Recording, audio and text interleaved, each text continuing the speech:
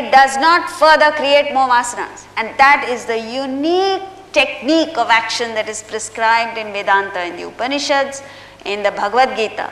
Particularly in the Ishavasya Upanishad, he prescribes this precisely. In the second mantra, he says, कुर्वन्नेवेह कर्माणि जिजीविषे क्षतगुंसमाः एवं त्वयि नान्यथेतोऽस्ति न कर्म लिप्यते नरे All it means is, by performing action alone, he says, may you live a hundred years. So it is not action that is taboo. In fact, Vedanta or the Bhagavad Gita or Upanishads prescribe dynamic, potent, powerful actions. Why? He says, because action does not taint a human being, means action does not necessarily cause a vasana. It is the Upanishad, so he does he simply makes a declaration. It's for you to figure out how to act in such a way that it doesn't further cause a vasana. But it is possible, and in the Gita, the entire third chapter of the Gita, he spells it out most intriguingly, most scientifically, most logically. And if you want to really get to that state of realization, you can do it. Clip it here. Perform action in such a way that it does not create further vasanas. Now you may ask, then what is the role of God in this whole thing? The role of God is simply that of a facilitator, an enabler. God is that entity which sets the laws in, in place. Having set the laws in place, the laws function. Thereafter, God has nothing to do with it. Because otherwise, you will say a person who has good fortune, God is kind to that person a person who has uh, bad things happening to him, or does it mean that God is partial? How do you explain that? God is simply the facilitator, the enabler of the laws. And once they're set in place, God has nothing to do with it. Now, the next question that arises in our mind is what happens at death? This explains your life. What about death? What about birth? What about this rebirth, concept of rebirth? For that, you need to first understand what happens during your lifetime. During your lifetime, you move from place to place. Take an example. You go into a shopping mall and you say you want to buy shoes. So, if you want to buy shoes, you look for a shoe shop you get into the shoe shop. Why do you get into the shoe shop? Because you have a desire to buy shoes. So that desire to buy shoes has propelled you into the shoe shop, has, has caused the movement from your home to the shoe shop. How long will you remain in the shoe shop? Until such time as your desire is fulfilled, that means you buy a pair of shoes. Once you buy the pair of shoes, there is no longer any reason for you to remain there, so out you go. Or you don't find the shoes that you're looking for, so you exit. The two reasons why you move out of the shoe shop. Then you go into the next shop because you have the next desire. Once your desire for shoes is fulfilled, the next desire comes into play and that is for cosmetics. So you enter a shop, you buy cosmetics or you don't find the cosmetics that you're looking for and you exit. Then you have a desire for say clothing. So you go into the shop that can satisfy that desire and out you go. So this is how you keep moving. The last shop that you go to is toys. You want to buy a toy for your child. If you suppose you go into the shopping mall with a friend of yours, the friend has no desire for any of these four, what will happen? The friend will be hanging around outside, will not enter any of these shops. Or if the friend has a desire for a fifth item, will enter that shop. So in other words, during our lifetime, movement is caused by desire. It's desire which propels you from place to place. We've all come here today at 6.30 because we had a desire to be here for whatever reason. It may be to please a friend, it may be to escape from something, or it may be genuinely to, to find out what the law of karma is all about. At 8 o'clock or shortly after that, we will all go our different ways. Where will you go? Wherever the desire takes you. One person may have a desire for to eat out, so you'll go to a restaurant. Another desire, person has a desire to go home, so you go home. A third person may have know, various desires. So, desire is that which propels you from experience to experience during your lifetime.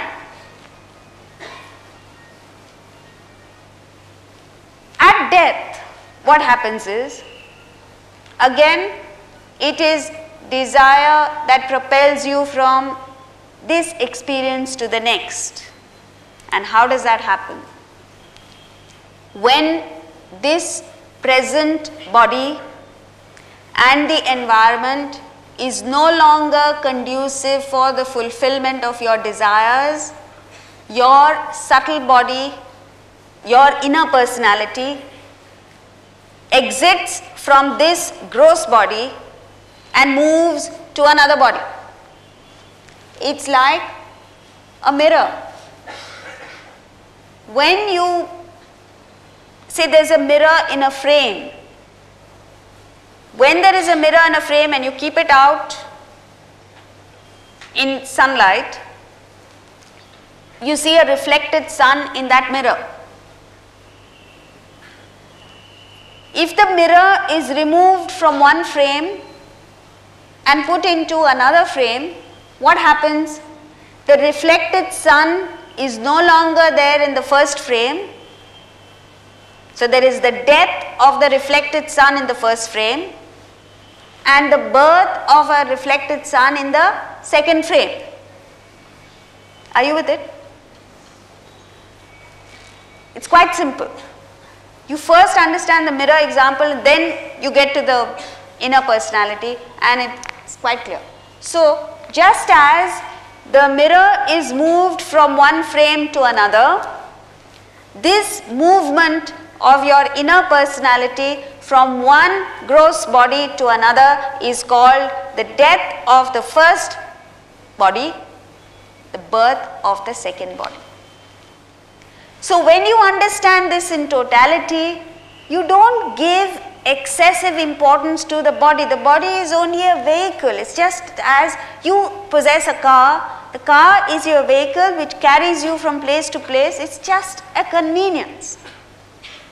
When the car breaks down or is no longer suitable for you to move around in the city, what do you do? You discard this car and buy a new car. And that new car gives you that much more pleasure, that gets you to places faster, it doesn't break down, it is more conducive for you to fulfill your whatever programs are there in life. And that's exactly the same thing with the body. So therefore, death is a blessing, it's not a curse. Death allows you a fresh beginning, a fresh start. And when you understand this, it doesn't cause that much sorrow. You, the sorrow is caused by attachment. Oh, I love this person. And when you're attached, the pangs of separation is what you go through when there is parting. This parting happens even otherwise. Why, say, your child applies to a university in the United States, gets admission, goes there. When the child goes away, what do you feel? You feel terrible. You feel traumatized. You are in deep sorrow. Yet you promote the child going. Why? Because you know, or at least you think, that it is in the child's best interest.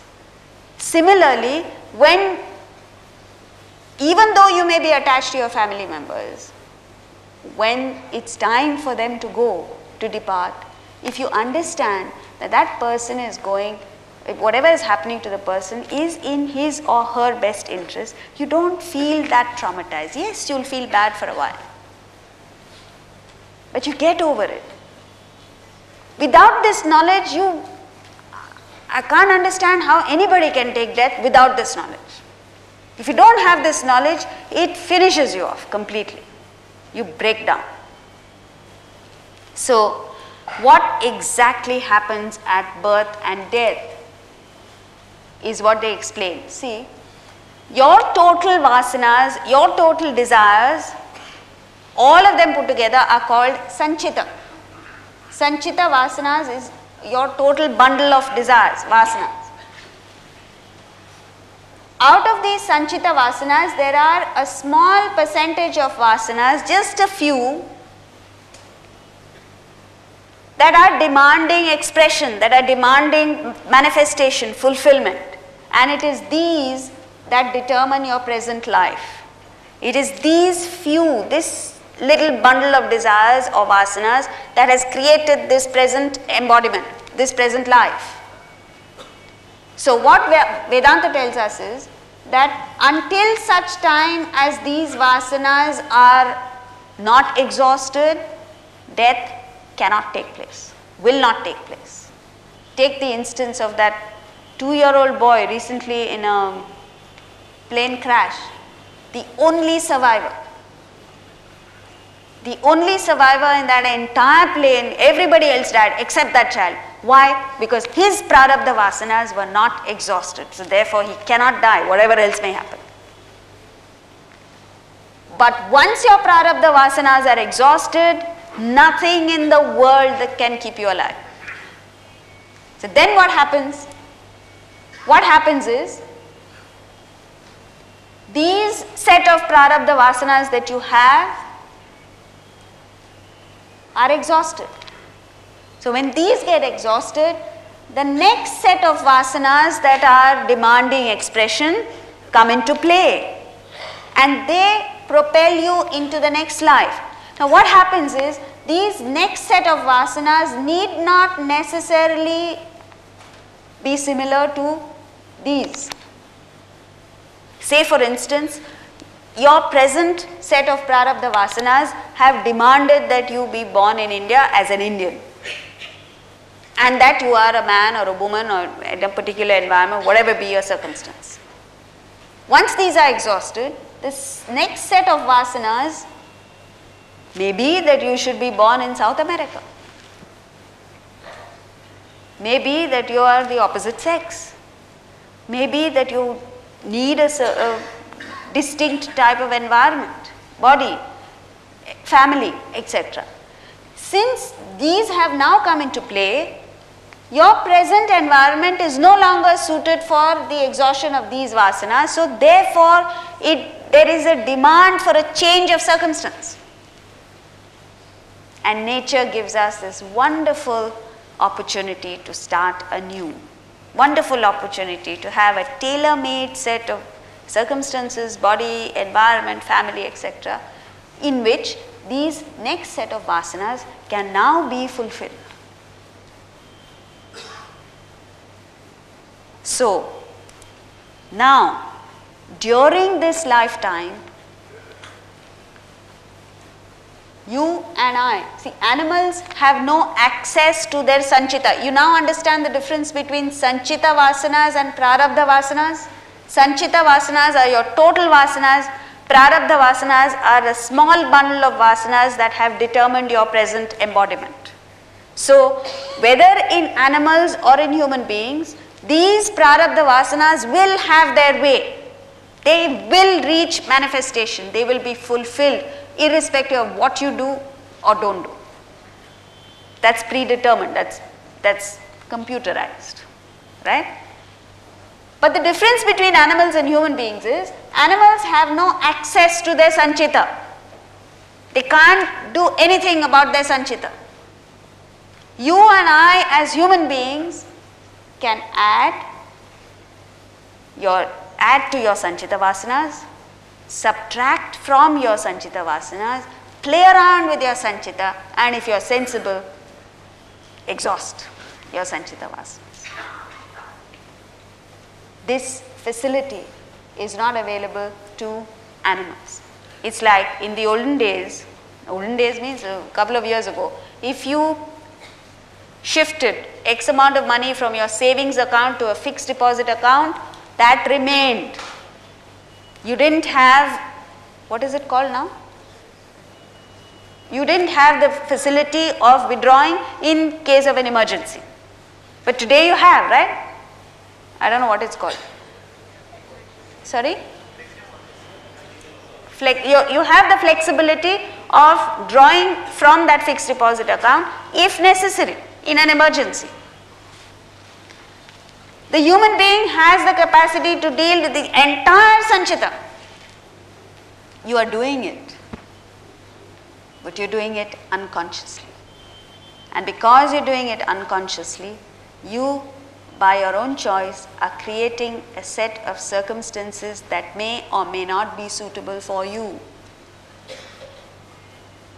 And then you complain, oh, God has been unkind to me. You're doing it, it's your doing. So, therefore, since you have the choice, you have got to somehow or the other gain the knowledge by which to make the right choices. Right choices means a choice that will be conducive for you, that will be pleasurable for you, that will be in your interests. But today, because you don't have that knowledge and you're not making these choices in an intelligent manner, you end up in a situation where you don't like it, it doesn't suit you, it's sorrowful. So, all that you have to do is deal with the Sanchita Vasanas. So, now assuming a person's Prarabdha Vasanas or have now been exhausted, what happens? Hmm? Death. Death takes place and then there is rebirth in another body. But in the interim period between the death of this personality and the birth of another personality, there is a time lag. And during this time, you go through a kind of dream and deep sleep kind of experience. And that is why all religions say if you perform positive actions, if you're good, you'll go to heaven, if you're bad, you'll go to hell. Isn't it? Every religion in the world has it. And how do you explain that? Ramatirtha has explained this. He says, at death,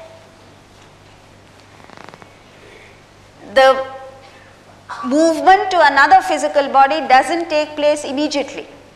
So, in the interim, you go through just as during your lifetime you go through waking, dream, and deep sleep. In the waking state alone, you have the physical body. In the dream and deep sleep, you just go through a set of experiences with your mind and intellect, and that's exactly what happens at death. The difference between heaven and hell is if you have performed positive actions, if you are unselfish, if you are functioning with the attitude of giving, if whatever you do is positive, then the, the result of your positive actions is that you will experience a heavenly uh, dream. And that is what is called heaven. If you've been selfish, if you're constantly grabbing from people, you're constantly shortchanging people, you're doing all kinds of unethical, immoral things, then you go through a condition in which your mind is extremely agitated and that is what is called hell. But after you go through this experience of either heaven or hell, there is rebirth, then you take another embodiment. Now, what Vedanta says is that the human, in order to be born as a human being, there is a certain minimum and there is a certain maximum. There is a range between which you find a human embodiment conducive. If you perform such gross negative actions that cannot be fulfilled, the, the desires or the vasanas cannot be fulfilled in the human form, so, this cycle of birth and death is endless. Shankaracharya says in Bhajagovindam, Punarapi Jananam, Punarapi Maranam, Punarapi Janani Jathare Shayanam, Iha Samsare Bahudustare, Krupaya Pare Pahi Murare. He understands, he says this again life, again death, again existence in the womb. This goes on and on. And when you understand that, all that, like Shankaracharya says, Oh Murari means, Oh God, please save me from this. And that desire, when you have to, to get out of this, when you understand, as uh, the Gita says, that everything in the world is temporary, it lasts only for a while, it's not permanent and it is dukkha yoni means is a womb of sorrow. Everything in this life is sorrowful at every stage. Then you want to get out of it. So this the wise break out of this cycle and realize the self. Now you and i are in this matrix this cycle of birth and death. You remember that movie? You have a choice red pill, blue pill, right? You pick one pill and what happens? If you don't know philosophy, at least a movie you should know. What happens when you take one of the two pills? You get, you, you're plowed back into the same experience. And if you pick the other pill, you have the choice of getting out of it. And this is exactly what the eighth chapter of the Gita says. There are two paths the path of return and the path of non-return. The path of return is where you path of return again has two different things. If you perform desire ridden negative actions, you want to be selfish, you want to be vicious, you have a desire to be vicious and you act in that manner. Then what happens is you go to hell. We've seen that earlier. You go to hell, suffer the consequences, come back into human life. Path of return. If you perform, this hell is something that is beyond Vedantic uh, uh, standards. You know, so Krishna, in, even in the eighth chapter, doesn't deal with it. It's too low, too gross for him to deal with. He only talks of heaven. So what happens is, if you perform desire-ridden positive actions, if you have a tremendous desire to do good to humanity, you are charitable, you work, and uh, your only concern is to do good to people, but that action is propelled by a desire, then what happens is you go to heaven, they call it Pitruloka, Dakshinayana. Dakshinayana means the path of the uh, winter solstice, darkness, the path of ignorance. You go to heaven you enjoy the fruits of your actions here, but again you have to come back. So, this is the path of return. Now, you may say, why not go to heaven? Nice experience. But, but the point is, you come back here. The path of non return again has two distinct entities. One is Krama Mukti. In Krama Mukti, you have you perform a mix of desire ridden positive actions means you have a desire to do good to humanity and your action is backed by the desire. But you also have a desire to get to realization and you perform obligatory actions. So this mix results in your going to heaven enjoying the fruits thereof and then from there on instead of returning back to the human existence you push off into the fourth plane of consciousness. This is called Krama Mukti or realization in stages.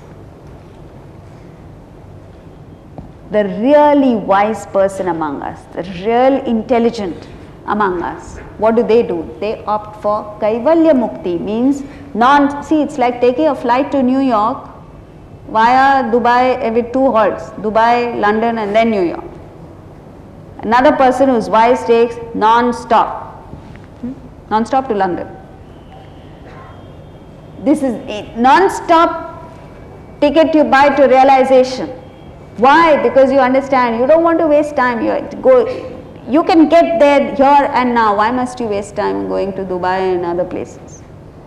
So, Kaivalya Mukti is where, how do you get that? You have fixed your vision on realization and you all the actions that you perform are geared only to get you there. You are not concerned with heaven. You are not concerned with desires. You don't even want to do good to humanity. If you do good to humanity, which you will do, it's only because you consider it your obligation to do it. You don't get attached to it, you have no desire for it, nothing.